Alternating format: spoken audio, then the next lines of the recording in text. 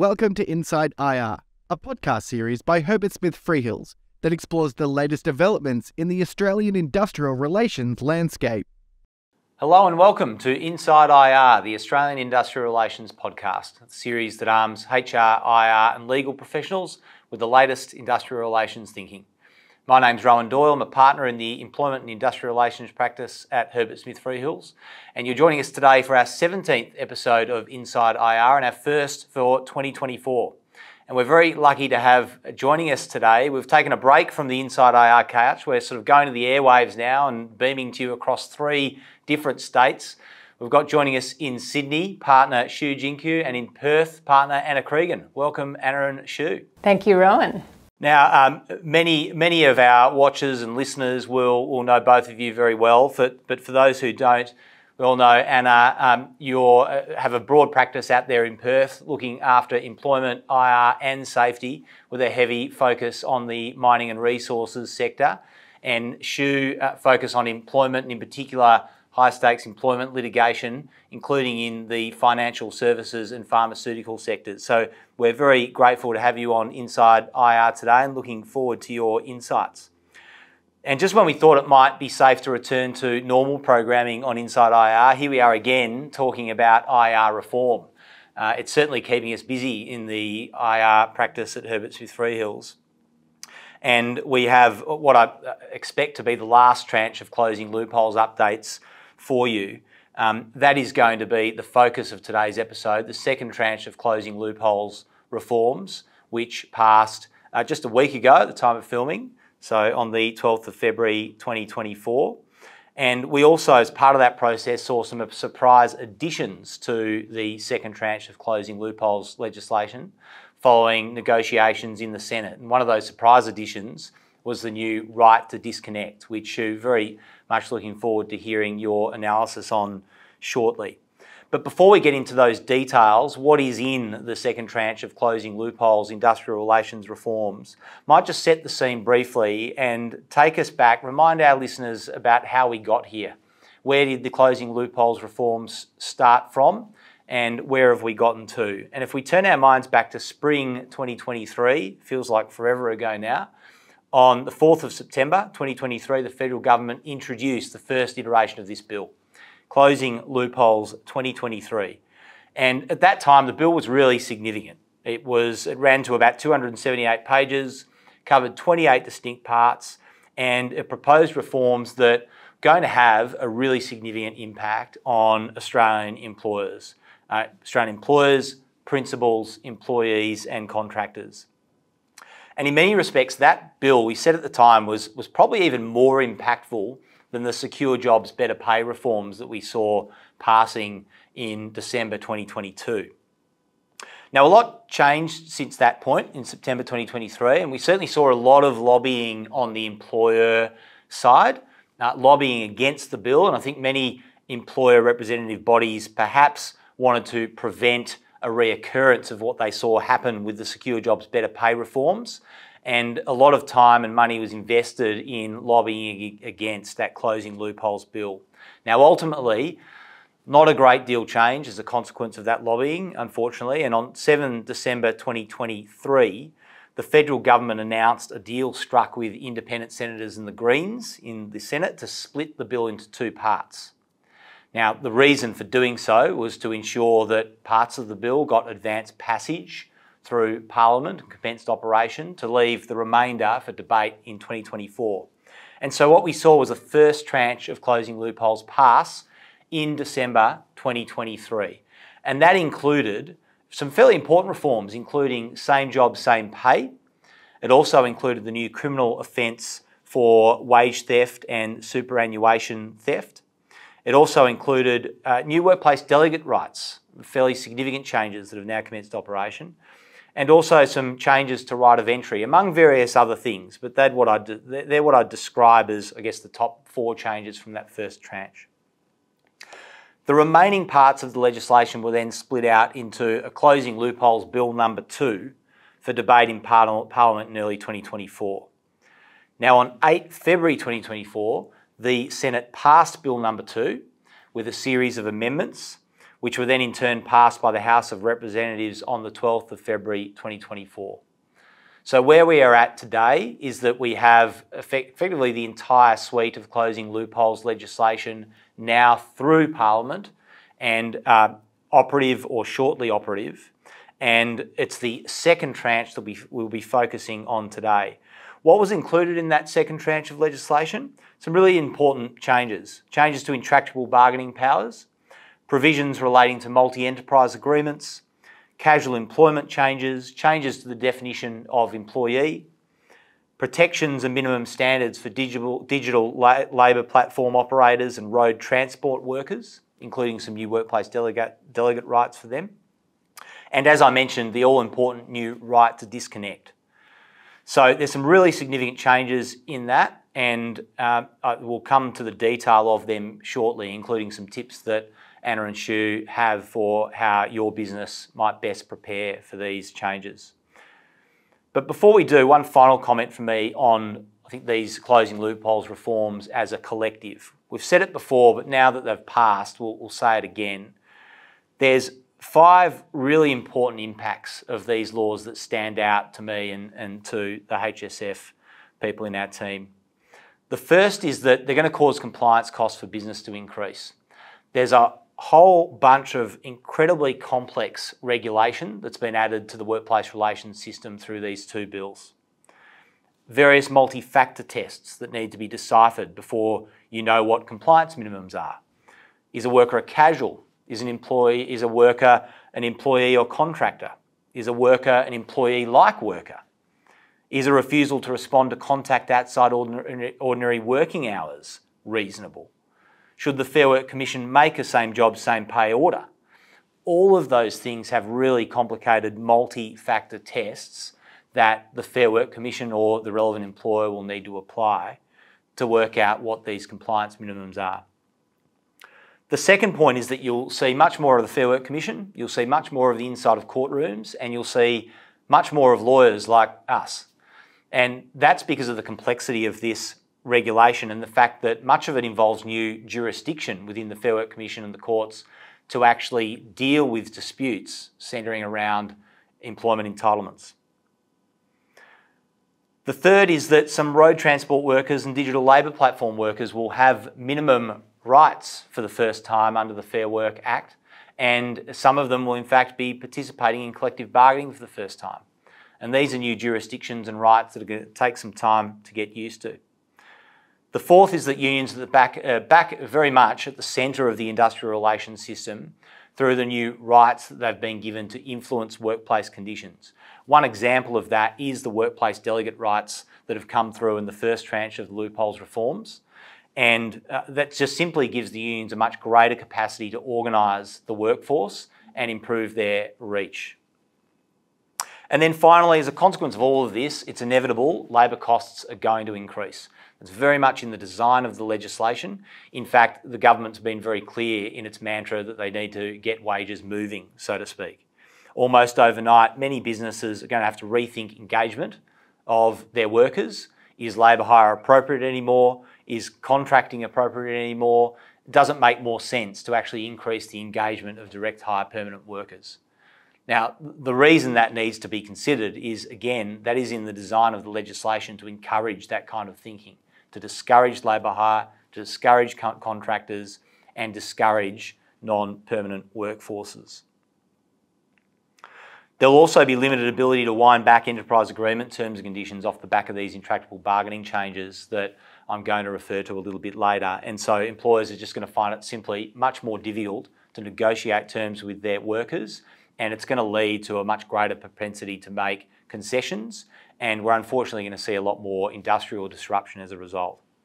So these really are some significant impacts. I think Anna Shu, I mean, we're all seeing a lot of interest in these at the board level and senior executive level, and that's for, for good reason because these impacts will be material. So I think today, though, we're going to focus on that second tranche of changes that I referred to, and we'll kick off with Anna, who will take us through three main points There'll be the new definition of employment, including a curious opt out mechanism, which we're looking forward to hearing about, the changes to the sham contracting prohibitions, and changes to underpayments, compliance, and enforcement. And then we'll move to Shu, who will take us through another uh, important three changes. The first is the new minimum conditions for road transport and digital labour platform workers, so non employees. The second being changes to casual employment. The third being the all important new right to disconnect.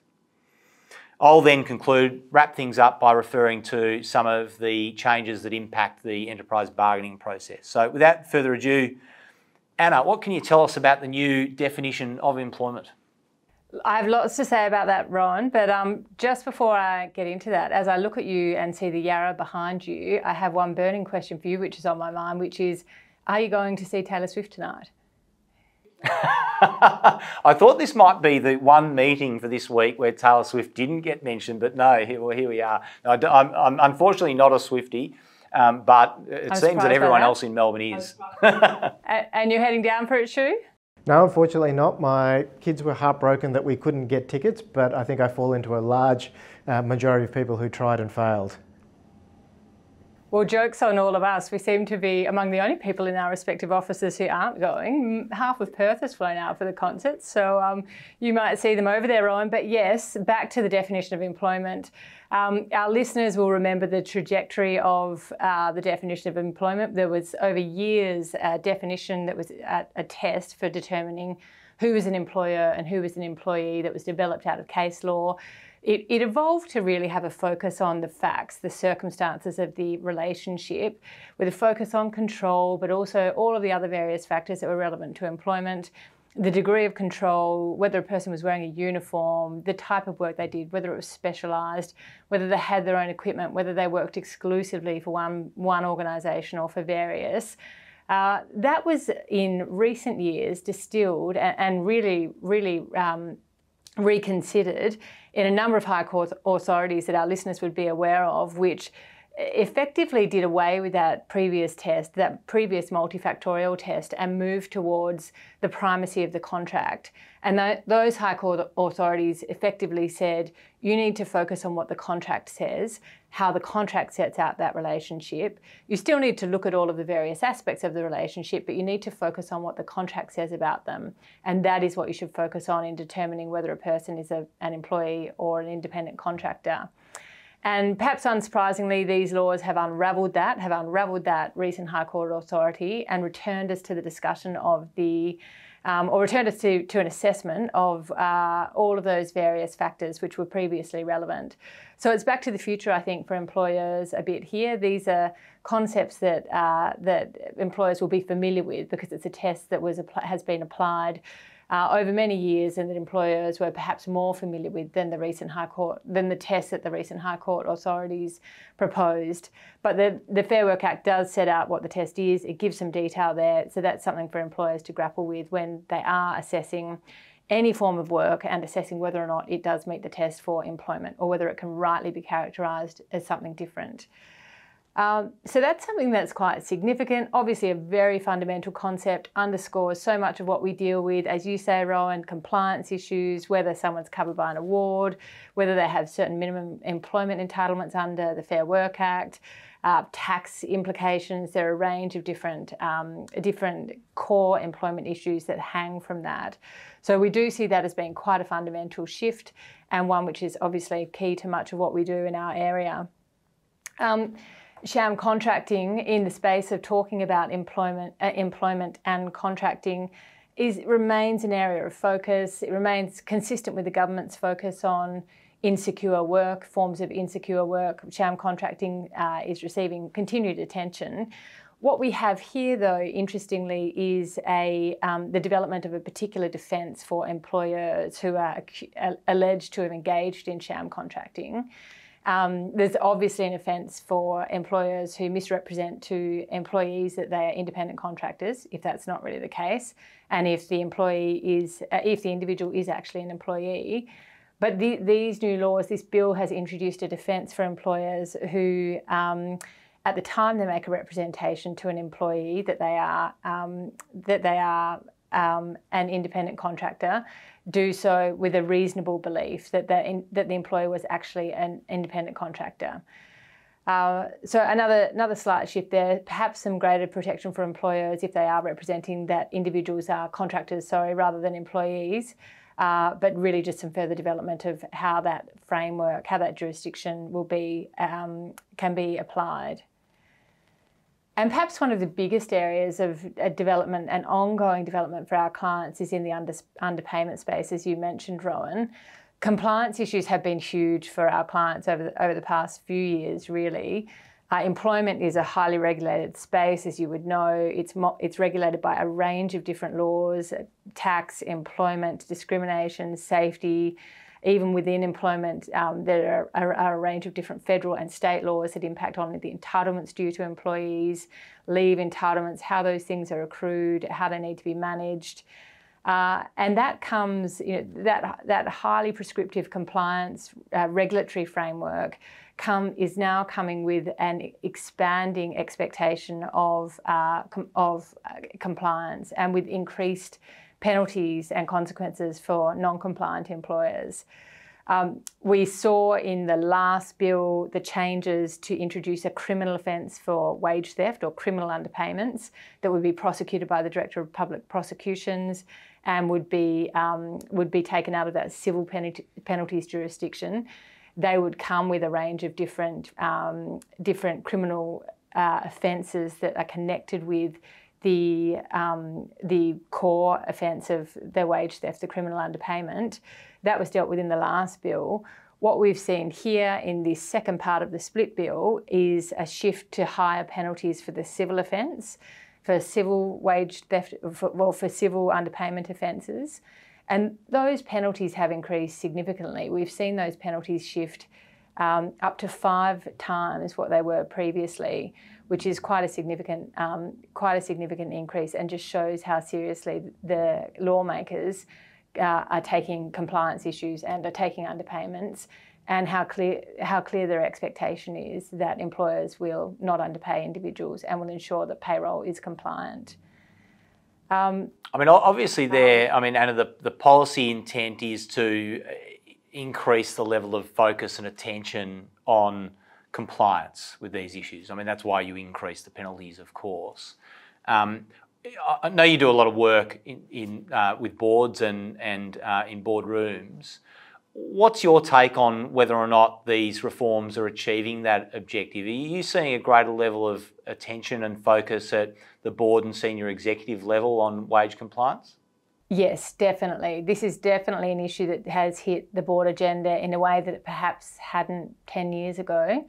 It's certainly a, a subject of, um, of uh, focus for boards and for senior uh, leadership teams.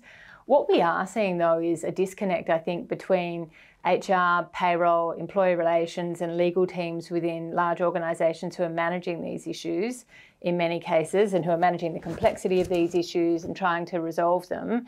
And leaders at a board level who are saying, fix this, you need to fix this and you need to fix it quickly. And how can we have, you know, how can we have mistakes in this space? And also, we're seeing some questioning in some clients um, along the lines of, is it really this complex? It can't really be the way that you're presenting it to us. This, there must be a simpler solution. And I think that uh, that paradigm really gives us an indication of, as you say, just how complex the, this framework, this compliance framework is, and how much is involved in ensuring compliance. Uh, but it's certainly something which has hit the hit the agenda and has, has attracted the attention of boards in recent years and months in ways that it, I think it previously hadn't.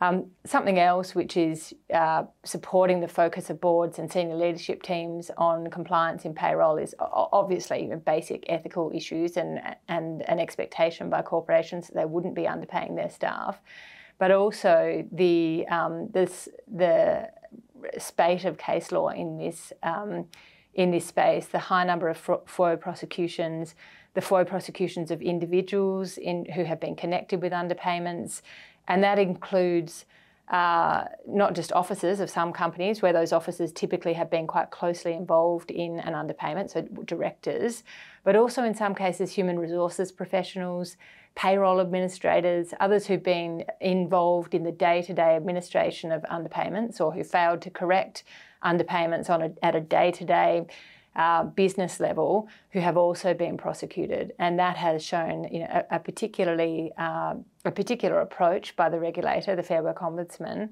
which is really uh, really seeing businesses across Australia focus sharply on this issue. And, I suppose, Rohan, just to add something else which is significant in the underpayment space that you know definitely warrants mention is the expansion of right of entry, um, right of entry rights. As you'd know, right of entry is obviously regulated under the Fair Work Act.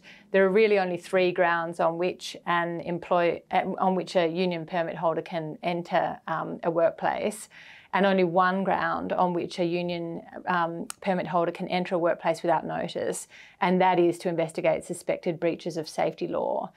What these what this bill does is in the underpayment space create another ground, another uh, circumstance where a union permit holder can enter a workplace without notice and that is if that union permit holder suspects an underpayment and um, and imbe- intends to investigate that underpayment, provided they seek an exemption from the Fair Work Commission to enter without notice. But it is quite meaningful. It, there, there, has been a lot of discussion about safety right of entry being the last meaningful form of right of entry because it was the last form of right of entry that could be exercised without notice and, and immediately by union permit holders. This would add another, uh, another form of right of entry that can be exercised without notice to employers.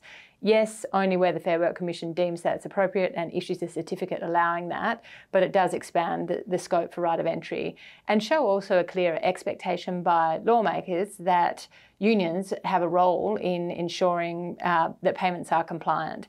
So that's certainly something of note.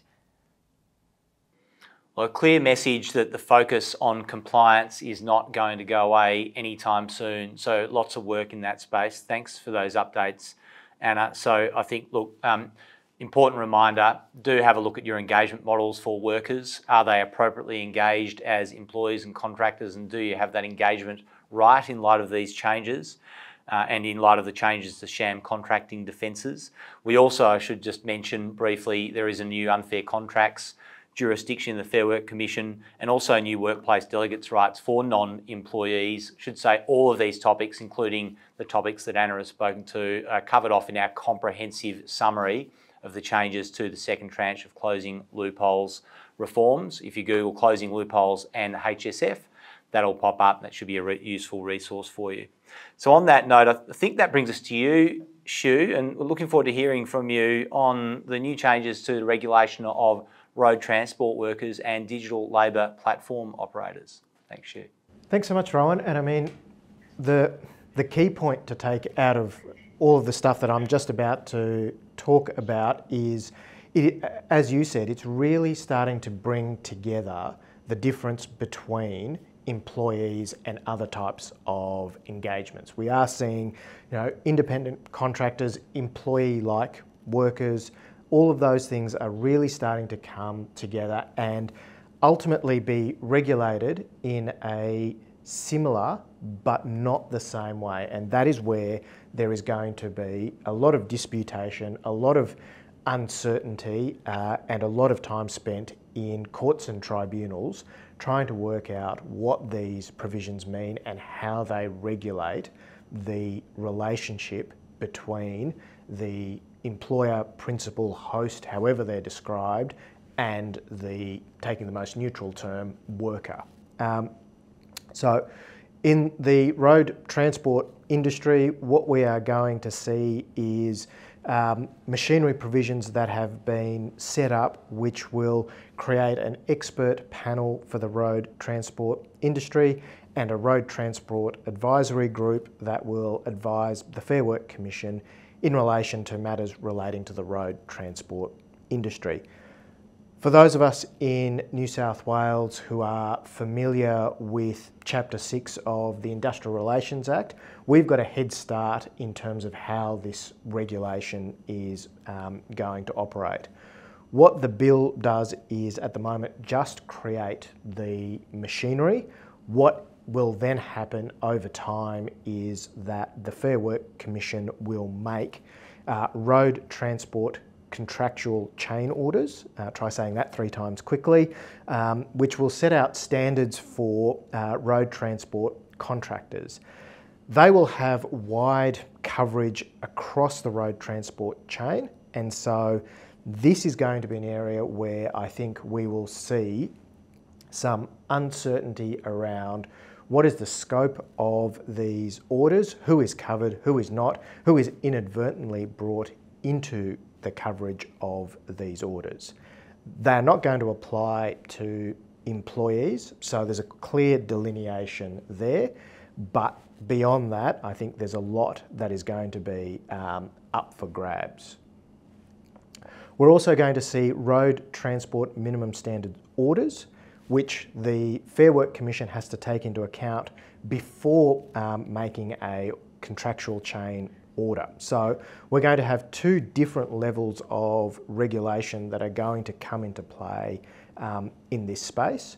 Now, what's important with the minimum standards orders is that there will generally be a 12 month period between when they are made and when they come into effect. So that will be important in terms of industry having time to engage with the processes and make sure that they have the processes in place um, to allow um, them to comply.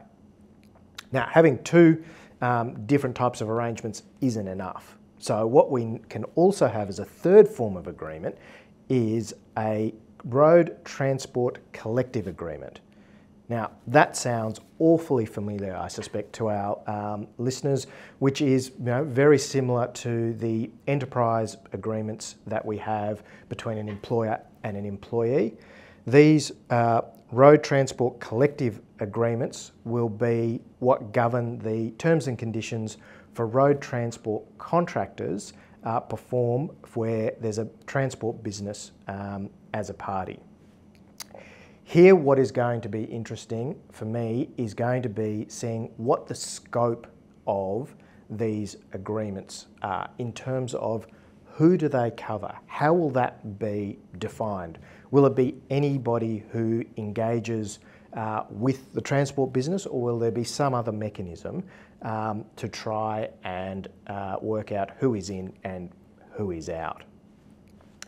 Having put in place all of those mechanisms, what is then important is what happens in terms of how the engagement of those road transport workers comes to an end. And what we are effectively going to have is an unfair dismissal jurisdiction that will come into place for these individuals.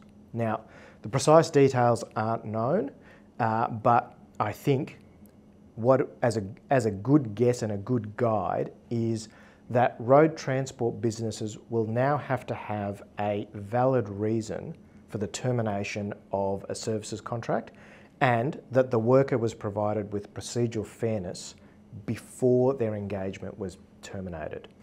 The Fair Work Commission will have the ability to make an order for a new services contract to be entered into or to re- restore lost pay or compensation. Again, for our listeners, very familiar to the unfair dismissal jurisdiction and really narrowing that gap that exists between employees and contractors.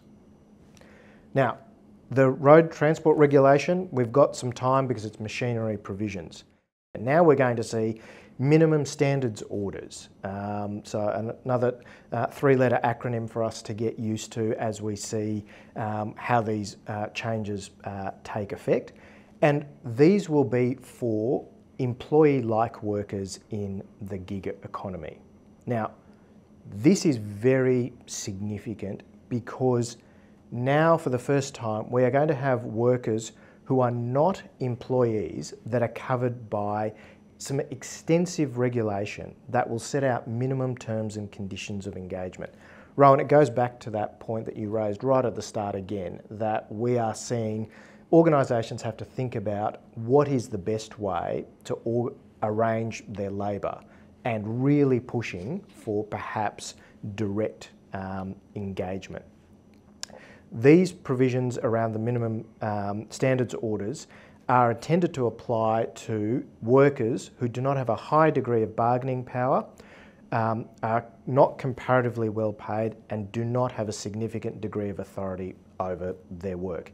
This is what has been um, put forward in terms of where we have the digital um, labour platform operators as seen as some of the consistent themes that will come through.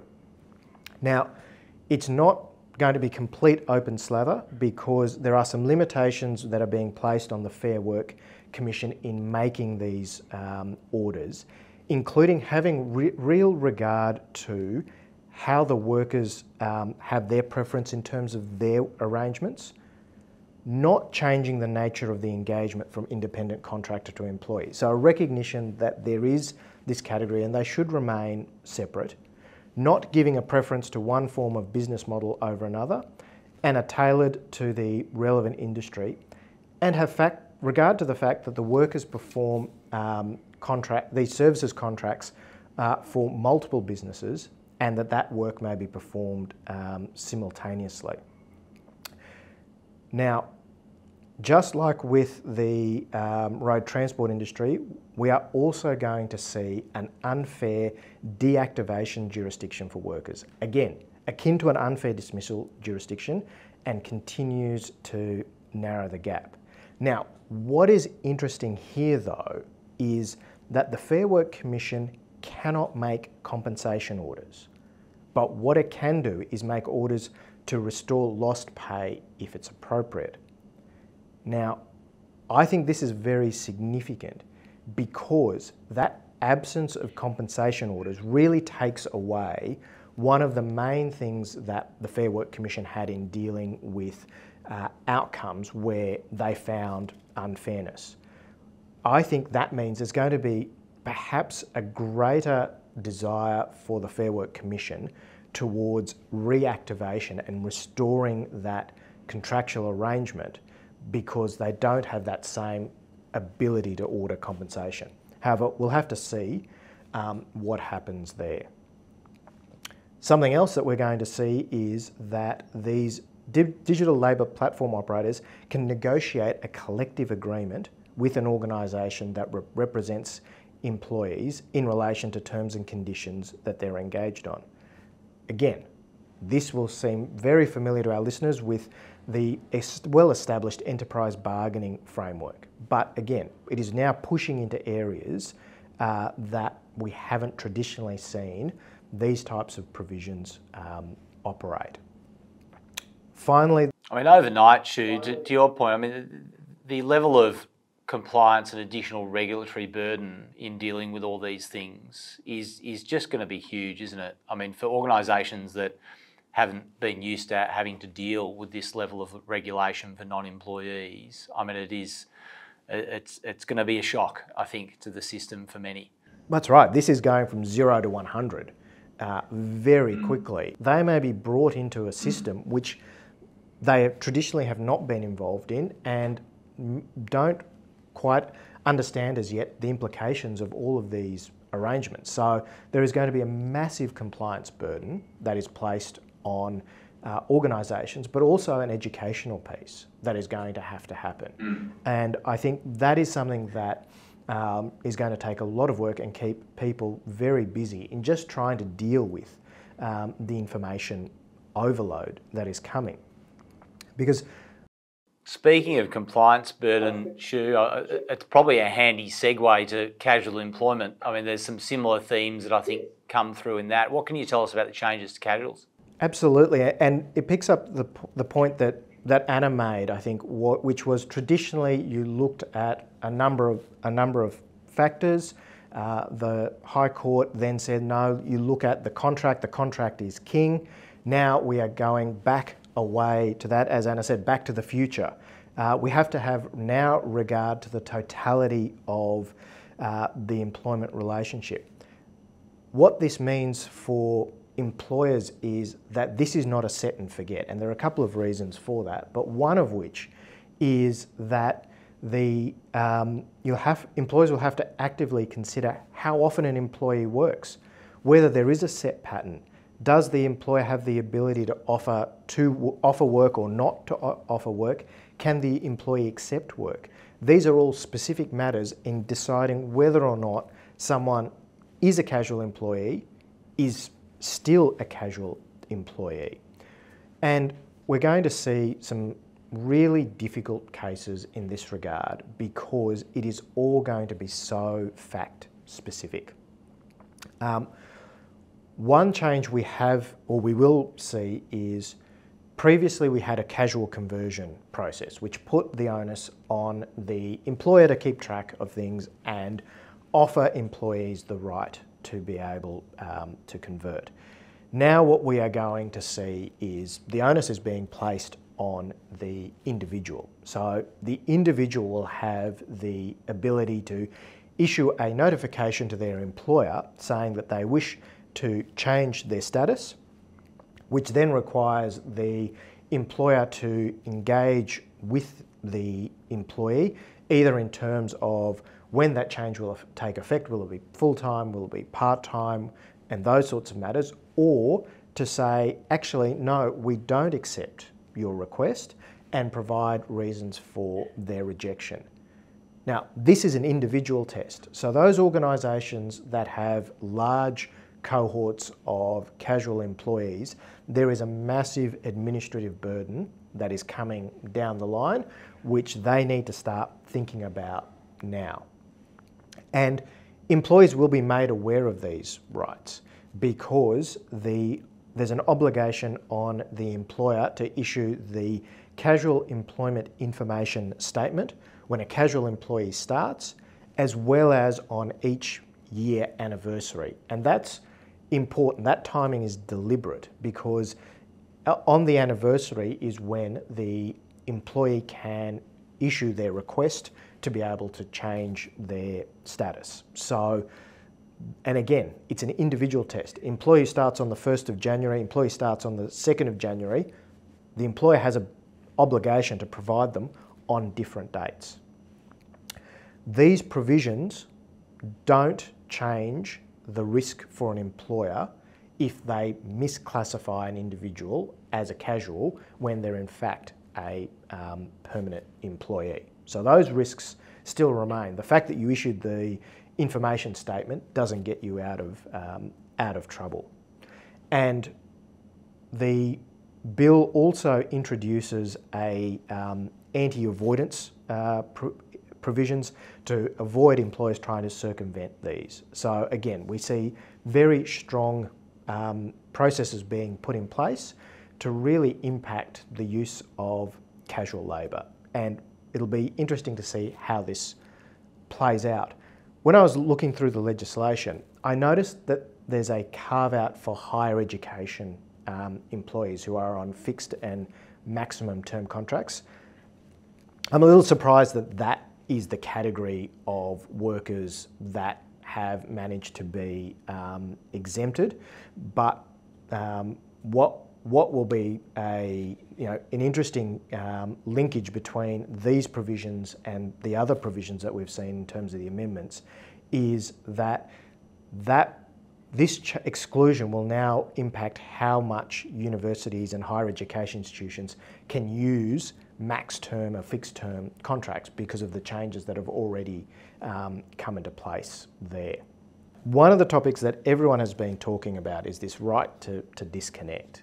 And I think it has got perhaps more airplay than it, it deserves. Um, and I'm not trying to minimise it just because I, I contributed to an article in June 2022 and I said legislative change in this area was not a high priority for political parties. So I obviously got um, that completely and utterly um, wrong. Sounds like you were straying into editorialising there, Shu. that's right, that's right. And what is really interesting about this is this has really captured a lot of attention. Um, and very briefly, there's a right to disconnect will provide a positive right for employees to refuse to monitor, read or respond to contact or attempted contact from an employer outside of their working hours unless that refusal is unreasonable. And it extends to contact not just from the employer, but also from third parties. So, for example, customers um, and clients. And Rohan, picking up on your point in terms of this is not an easy test that is going to be able to be dealt with. There's a number of factors that have to be taken into account to decide whether or not that contact is unreasonable, including the reason for the contact, the manner at which occurs, the level of disruption it causes the employee. So, a specific subjective test of that employee, the extent to which that employee is compensated to remain available, the nature of their role, the level of responsibility, and the employee's personal circumstances, including family and carers' responsibility. So, so Shu, I mean, a lot of, there's a lot of factors there. I wonder, I mean, question without notice. Can you help me with a hypothetical?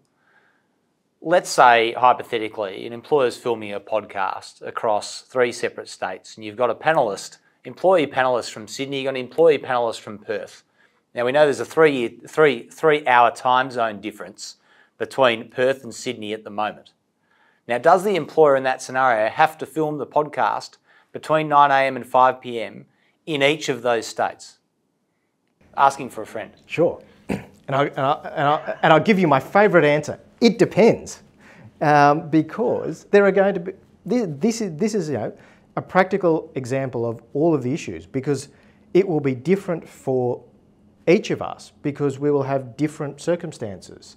Um, we will, you know, do you have kids? Do you have responsibilities uh, relating to grandparents? What time is it in the, the location? Is it too early? Is it too late? Are you paid to be on, on call? You know, your level of, the level of remuneration takes that um, into account. Have you got other flexibility so that you will start later and finish later? What happens then? The, all of these and things. Shu, Rohan's question throws up another um, interesting aspect of this change, which is obviously that it, it's, um, it's directed at employees. And as individuals here who are partners and not employees, it obviously has no relevance to us, but it does beg the question when the government's focus has been on secure work and on, on perhaps you might say treating a larger category of individuals as employees than had previously been the case. Uh, you know, what do we think about the potential for this to be expanded to non-employee workers? Well, there is a review in two years' time, I think, of, of this legislation. so you've just given the government a brilliant idea as to what will happen. These provisions have been working so well that they should be um, expanded. I mean, there, there, there is going to be lots of issues that arise, but I think they're going to arise at a practical level at the workplace. Um, because for a lot, I've really struggled in terms of where exactly is the, the significant problem that this has been coming to provide the solution for. And maybe it has been something that's arisen out of the COVID and the fact that people were working uh, much longer hours and, and, in different patterns, and now there is this desire to pick up on what we've seen internationally uh, in other jurisdictions um, such as France and Canada to, to try and have these um, provisions brought in to provide a, you know, a set time frame where people work and then outside of those hours there are ways that people should be compensated if they are going to be in, in contact or required um, to be available. But I think then you, there are going to be issues around that it's an individual test. And so legislation is a, is a relatively blunt instrument to achieve this. Uh, and we are going to see uh, disputes that are going to go to the Fair Work Commission. And interestingly, you've got two different types of applications. One from the employee saying that the contact is unreasonable and therefore that there should be an order made by the commission that the employer stop that contact or the other way around is that the employer brings an application and seeks an order that the employee has to um, accept the contact and actually engage um, with this. And the Commission has to de- start dealing with a dispute uh, within uh, 14 days of the application being made. Uh, and the final thing, um, a little quirk uh, which has been picked up, is that uh, as the legislation is currently drafted, it's actually a criminal offence um, because it hasn't been exempted from the uh, criminal offence provisions in section 675 of the Act. But the government is committed to fixing that, so a breach of these stop orders will be a civil remedy provision.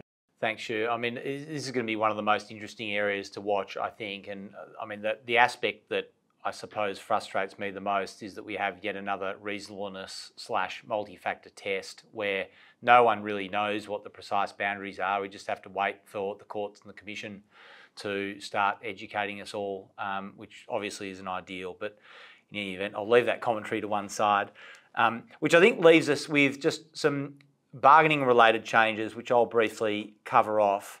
Uh, the minor, more minor changes I won't mention. Um, they relate to how to transition from multi-enterprise agreements to single enterprise agreements, how the new model terms in enterprise agreements are to be developed, uh, and some changes to uh, access by franchisees to both the single enterprise agreement and multi-enterprise agreement stream. All of those changes you can review in our comprehensive summary, Google closing loopholes and HSF, and that will come up.